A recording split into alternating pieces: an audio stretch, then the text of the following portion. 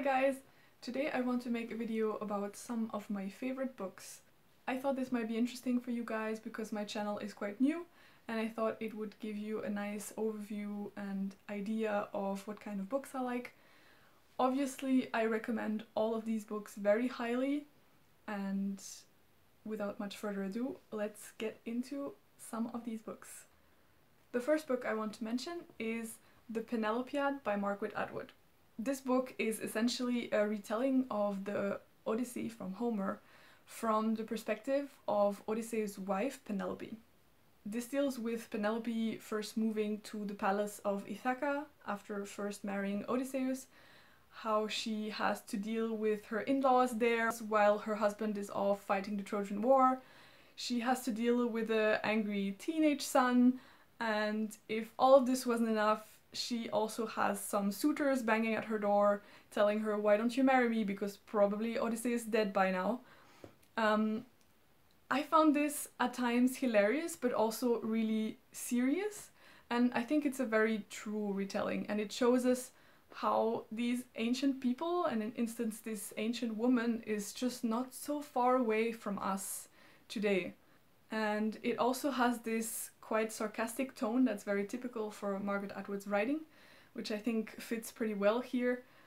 This book is really short, it's just over 200 pages and there's a lot in it for 200 pages. There's also some really clever thing that Margaret Atwood is using. She has some sections in between chapters where she mimics some um, styles that were used in Greek drama.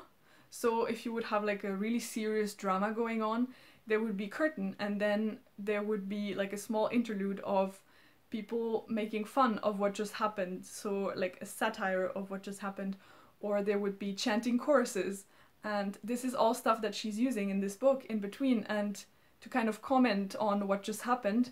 And this was really surprising at first but then she talks about it in length in her afterward and it's super super interesting. So i thought that was really clever. So yeah that's The Penelopiad by Margaret Atwood and I really recommend it. The second book I want to talk about is called Réparer les vivants by Maylis de Kerangal. So I believe it came out in English also and it's called The Heart or Mend the Living depending US or UK, I don't remember. This book plays in the northwest coast of France, Normandy, I don't know if you know, and it starts with this young boy, Simon, who is off with his friends to surf very early in the morning because he wants to catch the best wave. And very suddenly, a tragedy happens and he has an accident and he ends up being in a coma. The whole book spans between the time of Simon's death until um, his heart gets transplanted into an elderly lady.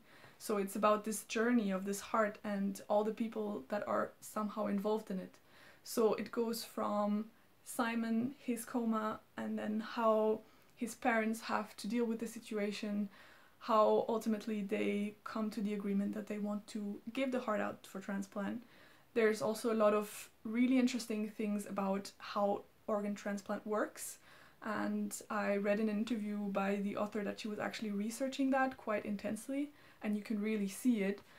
And then going off from the transplant to all these procedures and the doctors involved, and then at the end to this elderly lady and how she deals with the fact that she is given another chance through this young boy that died, and she's also dealing with how she can ever repay something like this. This book is really heartbreaking and sad, but also really informative, as I just said it's a lot about what is a life worth and what is a body worth and how you can save somebody just with your body. And if you're dead you might save someone. It's just really beautiful. It's really beautifully written. I was just in awe the whole time i was reading it. I read it in french but i can assume that probably the english translation is not so bad because i've heard people talk about it and having read the, the english version and yeah, I just cannot recommend this book enough. It's amazing. The third book I want to mention that I really like is Educated by Tara Westover. I read this recently and um, I believe it's been going on on booktube quite a while. This is a memoir and it tells of Tara Westover growing up in a rural part of Idaho in the United States. She is brought up in this family of survivalists, so they don't believe in government system, in um, education, so in the school system and the medical system, and it's how she grows up and how she also takes a decision to leave this way of life behind and get an education because she hasn't been to school I think until she was like a teenager or something. It raises so many questions about how important is family and how far would you go for your family? How strong are family ties even if they're really toxic for you? Can we go against something we were taught from very early on? This book was really scary at times. I felt really empathetic for Tara and for her family members, and I really appreciated the message that it gives about the importance of education. So I recommend this to anyone, pretty much.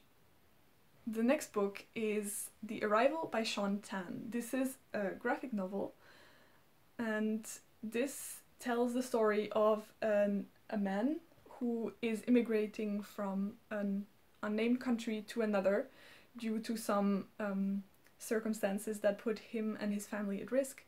And it's about him trying to find its place in his new surroundings. And this is such a powerful book. It, the artwork is absolutely beautiful. It's in these sepia tones that reminds of old photographs and um, it deals with so many universal topics like feeling foreign or alien, trying to find your place somewhere new, um, dealing with homesickness, but also meeting really helpful people that actually want to help you to feel better in this new surroundings. And um, what makes it also so beautiful is that it's drawn in this way that it feels so universal. So whether you're um, moving somewhere new or you're going abroad or you're moving countries, um, this is just something anybody can get something out of, and it it just gave me a really big um, book hangover, and I wanted to put this into anybody's hands, which I did partly. Um, I cannot recommend this graphic novel enough, and I think it's for everyone. The next book I want to mention is The Tidal Zone by Sarah Moss. This really packed a punch. Um, this really went straight to my heart and I will tell you why. So this is about a father, Adam, who is one day called at home from school and it turns out his daughter Miriam collapsed and her heart stopped for a while. Of course then um, the medics take her and they get her to the hospital but nobody can figure out why this happened and if this could happen again in the future. This story is very much centered on the family dynamics, something I really like in books, and it's about how the different members of the family deal with this situation, this uncertain situation of something could be happening again. So we have Adam, the father, um, the mother who is a doctor and is quite a busy person.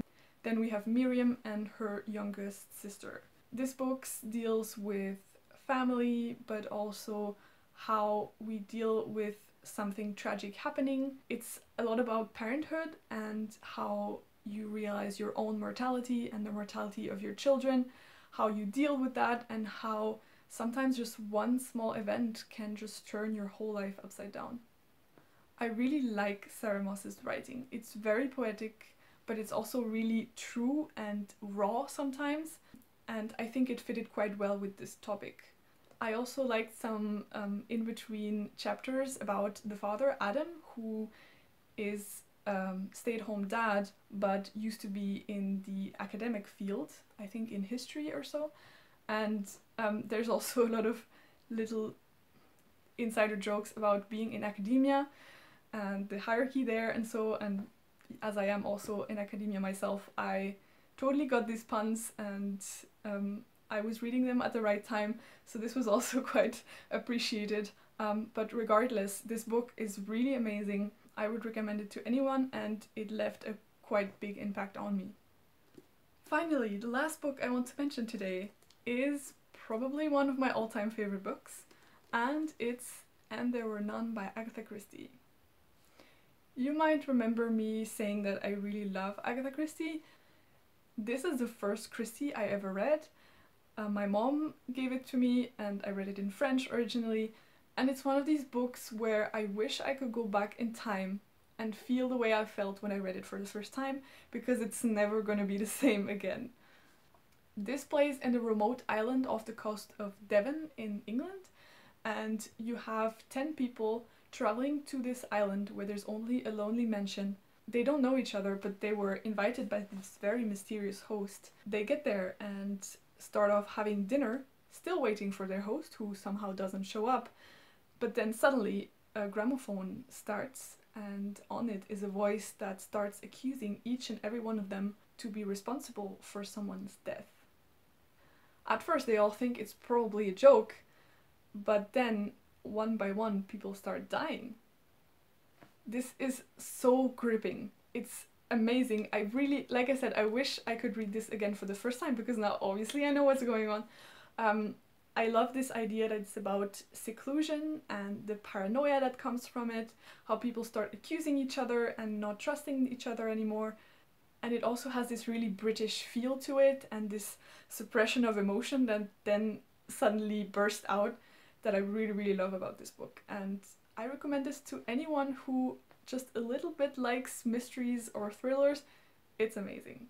So that's it guys, that was the six books I wanted to talk to you about that are among my favorite books.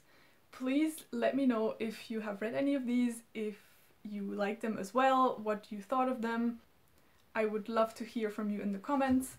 If you have any recommendations, definitely I'll take any if you say this is very similar to one of the books that I mentioned.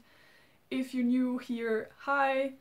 So nice to see you! Subscribe if you like this video and until next time, bye!